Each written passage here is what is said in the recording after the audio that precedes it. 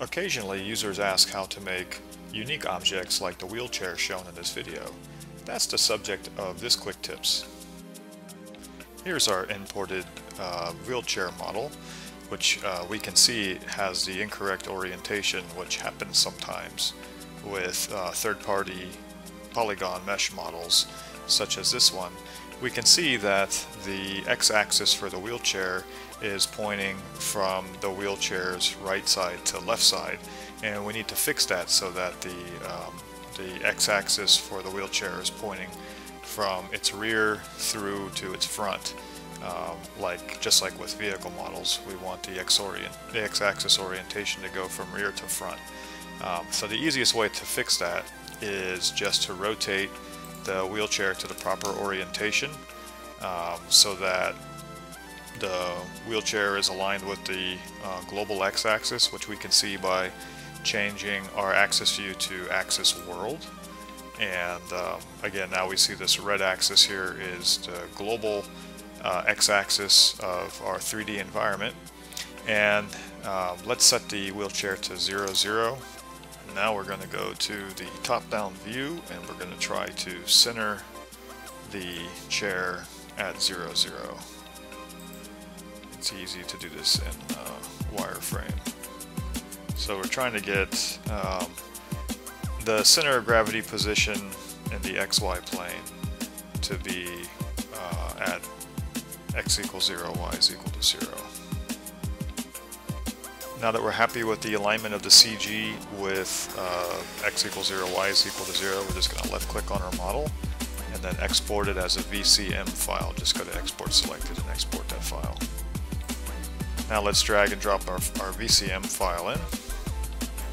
And now we can see uh, that the pivot point or center of gravity is properly placed at the center of the wheelchair and um, its x-axis orientation is correct going from back to front and we're just going to use that VCM file model now rather than the original file.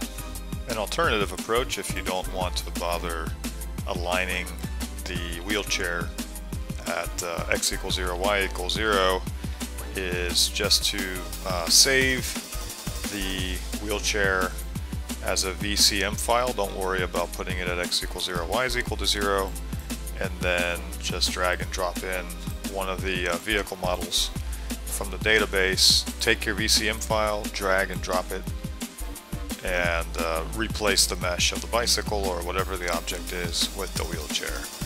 And now your polygon mesh from your wheelchair will be centered and now all you have to do is um, adjust the uh, size attributes and the wheel placement in order to make your wheelchair model and this uh, technique is shown in chapter 7 of the user's guide. Now let's delete the polygons from the wheels because we're going to use uh, simulated wheels of course and it's often easiest if you go to element selection type and then just use the lasso tool to lasso all the polygons that you uh, want to delete from the wheel objects and this is the same process that you do for vehicles as well.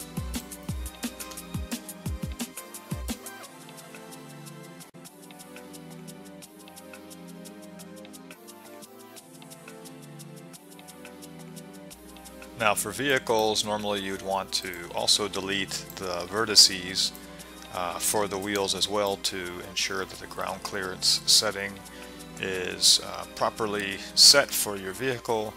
Um, here we're just going to use a ground clearance of zero and we're not going to worry about the vertices for the uh, wheelchair object. Next we're going to uh, go back to the element selection type and define the various shaders for the polygons of our wheelchair.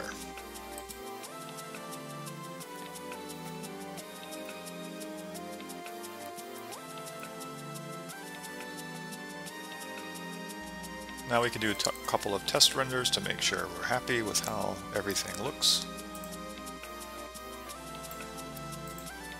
And finally we're going to uh, set our wheelchair to a rigid body object and um, now it can undergo uh, simulations and interact with the environment. We'll set the uh, weight of our chair to 35 pounds and and we're going to, um, of course, add two axles to our wheelchair.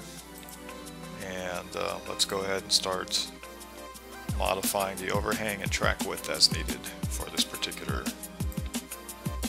uh, wheelchair.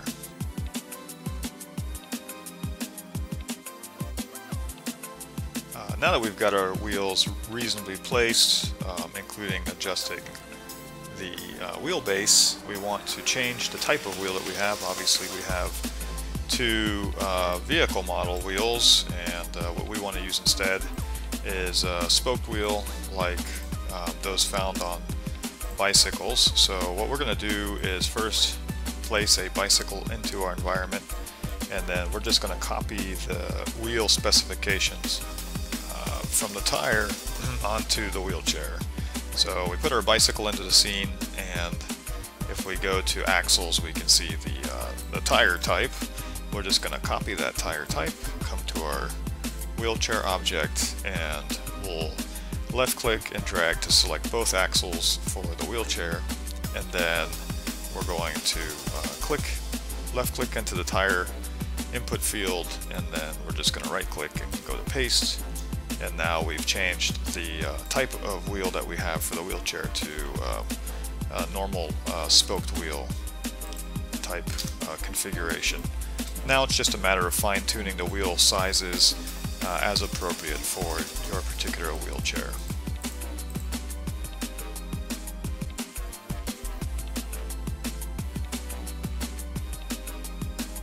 Next we're going to change our ground clearance to uh, zero, but then we'll have to also change the height of our wheelchair to account for the change in ground clearance since the height input value is actually the Z position of the highest uh, vertices for our wheelchair model. So we're going to change the ground clearance to zero and then uh, we'll change the height to the proper value for the new ground clearance. And then we'll make a final adjustment to our uh, wheel size.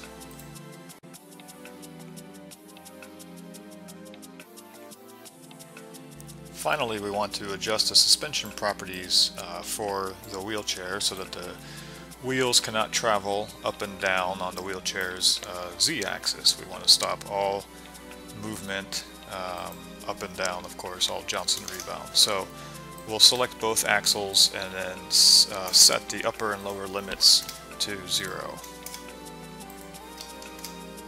So now those wheels can't travel uh, up and down. Now we can give uh, this wheelchair uh, initial simulated speed. We can also make fine adjustments to uh, the pivot point or center of gravity position as needed.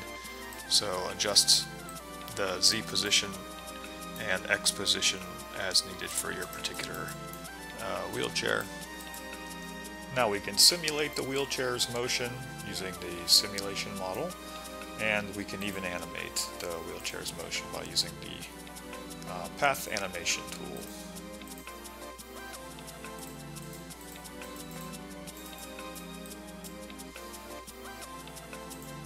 In the uh, wheelchair ad video, uh, we converted the vCrash lady into a rigid body object and then held her in place using spherical joints to the wheelchair, uh, which we then broke the joint connections for as she was falling down the steps of her home.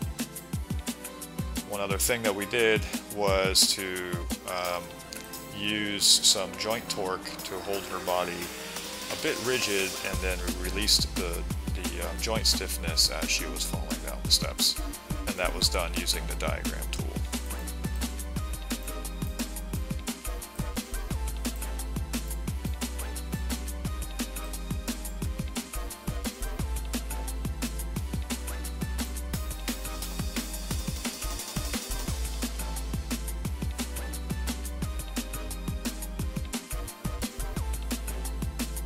Similar techniques were used for uh, this video where we used a path animation tool to animate the motion of the wheelchair as it moved forward and then turned off the animation and allowed the motion of the wheelchair to be simulated at this point right here.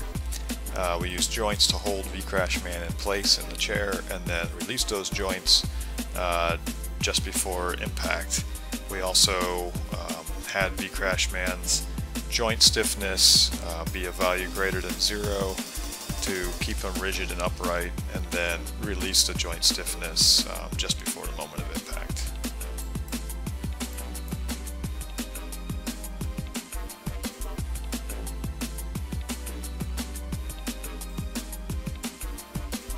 For a review of creating your own vehicles and other objects third-party meshes, see Chapter 7 of the User's Guide.